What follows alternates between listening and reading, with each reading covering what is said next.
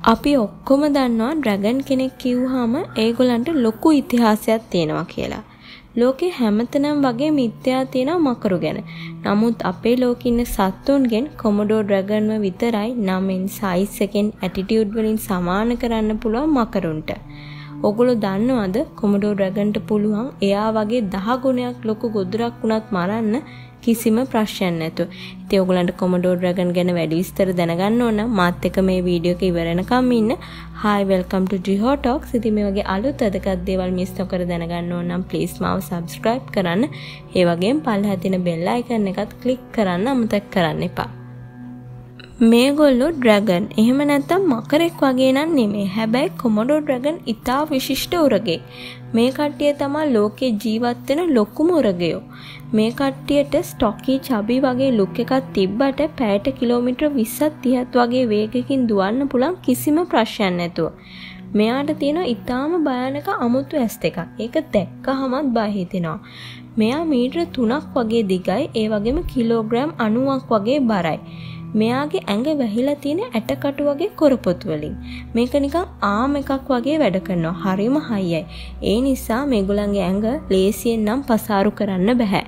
Komodo ඩ්‍රැගන්ලට දිග දිවක් තියෙනවා. මේ දිව දෙකට බෙදලා තියෙන්නේ. ඒ වගේම මේගොල්ලෝ ඉව කරන්නේ දිවෙන්.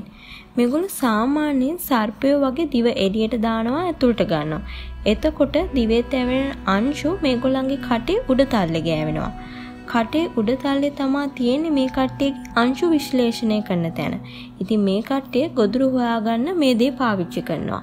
ඒ වගේම කිලෝමීටර් 4ක් ඈත උනත් තියෙන ගොදුරක් මේ කට්ටියට ට්‍රැක් කරන්න පුළුවන් මේ දේ පාවිච්චි කරලා. ඉතින් ඔගොල්ලෝ දන්නවද මේගොල්ලන්ට හොඳට පීනන්න පුළුවන් කියලා? මේගොල්ලෝ දූපතින් දූපතට පීනනවා කෑම හොයාගෙන. ඒ වගේම මේ කට්ටිය වැඩෙනවා ජීවත් වෙලා ඉන්නකම්. ඉතින් මෙයා මැරෙන්නේ නැතුව හිටියොත් ජීවත් වෙලා ඉන්නකම් මෙයා ලොකු වෙනවා. විශ්මයජනක කරුණක් තමා කොමඩෝ ඩ්‍රැගන්ලට පුළුවන් වර්ජින් බර්ත් කරන්න. දෙදස් හයේදී සත්වෝද්‍යාන දෙකක ගෑනු කොමඩෝ ඩ්‍රැගන්ල බිත්තර දාලා තියෙනවා පිරිමි ඩ්‍රැගන් කෙනෙක් එක්ක කිසිම සම්බන්ධයක් නැතුව. ඉතින් ඒ කට්ටියගේ DNA විශ්ලේෂණය කරාම තිබිලා තියෙන්නේ අම්මගේ DNA විතරයි. මේගොල්ලන්ට පුළුවන් හොඳට කන්න. මෙයාට කන්න පුළුවන් එයාගේ බර වගේ 80ක්. ඒ කියන්නේ ඔයා කිලෝ 100ක් වගේ බර කෙනෙක් නම් කිලෝ 80ක් වගේ කෑම එක පාට කනවා වගේ.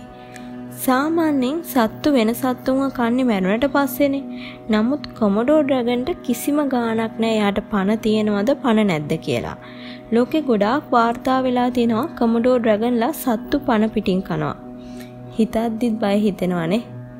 කොමඩෝ ඩ්‍රැගන්ලට පුළුවන් හදිසි අවස්ථාවක කාපු කෑම ඔක්කොම වමාරලා විලෝපිකයාගෙන් බේරෙන්න. සාමාන්‍යයෙන් වෙන මාංශ පක්ෂකයෝ කන්නේ එයාගේ දඩයමෙන් 120ක් 30ක් වගේනේ. නමුත් කොමඩෝ ඩ්‍රැගන්ලා හැම දෙයක්ම වගේ කනවා 112ක් වගේ තමා ඉතුරු කරන්නේ. මේගොල්ලන්ගේ දත් ගොඩාක් හයියයි. එයා සත්තුන්ට කරන තුවාල දැක්කහමත් බය හිතෙනවා.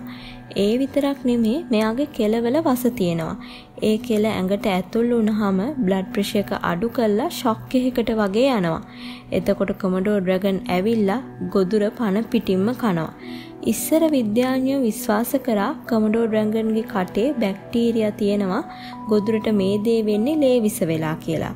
ඒත් ළඟදි කරපු පර්යේෂණ වලින් ඔප්පු වෙලා තියෙනවා ඇත්තටම මේ කට්ටියගේ කටේ විස තියෙනවා කියලා. මේගොල්ලන්ට ලොකු බයිට් ෆෝස් එකක් නැති වුණාට හැපුවාම විස ඇතුල් කරන නිසා ගොඩාක් භයානකයි.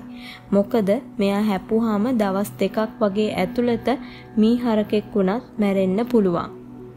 කොමඩෝ ඩ්‍රැගන්ලා කියන්නේ වඳවීමේ තර්ජනයකට මුහුණ පාලා තියෙන සත්තු විශේෂයක්. ඉතින් මේ කට්ටිය ඉන්නේ ඉන්දුනීසියාවේ දූපත් කීපයක. මේ කට්ටියට වඳවීමේ තර්ජනයක් ඇති උනේ මේ අය මැරුවා හම් ගන්න ඒ වගේම ඉන්න තියෙන ප්‍රදේශ අඩු වුණ නිසා.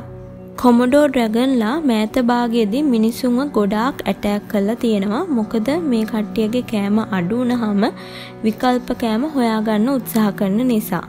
දෙදස් හතේ අවුරුදු දහයක වගේ ළමෙක්ට කොමඩෝ ඩ්‍රගන් කෙනෙක් ඇටැක් කරලා තියෙනවා. ඉතින් එයාව බේරගන්න එද්දිත් එයා මැරිලා ඉවරයි. ඊට අවුරුද්දකට පස්සේ ස්කූබා ඩයිවර්ස්ලා ටිකක් අතරමං වෙලා ඇවිත් තියෙනවා රින්කා කියන අයිලන්ඩ් එකට. ඒකේ කොමඩෝ ඩ්‍රගන්ලා 1300ක් වගේ වාසය කරනවා. ඉතින් මේ කට්ටිය දිවා රෑ මේ කොමඩෝ ඩ්‍රගන්ලත් එක්ක ෆයිට් කරලා තියෙනවා දින දෙකක් මේ කට්ටියව බේරගන්න එනකම්. ශැරන් ස්ටෝන්ස්ට ඕන වෙලා තියෙනවා එයාගේ බර්ධ් එකට කොමඩෝ ඩ්‍රගන් කෙනෙක් අතගන්න. ඉතින් හොඳ අදහසක් වගේ නේද තේරෙන්නේ. ඉතින් මෙයාගේ හස්බන්ඩ්ගේ කකුලේ යටිපතුලේ උඩ කෑල්ල හපලා කඩලා තියෙනවා මේ කොමඩෝ ඩ්‍රගන් කූඩුවෙන් එළියට දුවන්න කලින්. ඉතින් ඕගලන්ට ඉස්සරහට මේ වගේ දුර්ලභ ගණේ සත්තු ගැන දැනගන්න කැමති නම් කමෙන්ට් කරන්න. ඉතින් මං හිතනවා ඔයගොල්ලෝ මේ වීඩියෝ එක බලලා කොමඩෝ ඩ්‍රගන් ගැන ගොඩාක් විස්තර දැනගන්න ඇති කියලා. ඉතින් ඔයගලන්ට මොන හරි ප්‍රශ්න තියෙනවා නම් අනිවාර්යයෙන්ම කමෙන්ට් කරන්න. ඉතින් ඔයගොල්ලෝ මාත් එක්ක මෙච්චර වෙලා හිටියට thank you.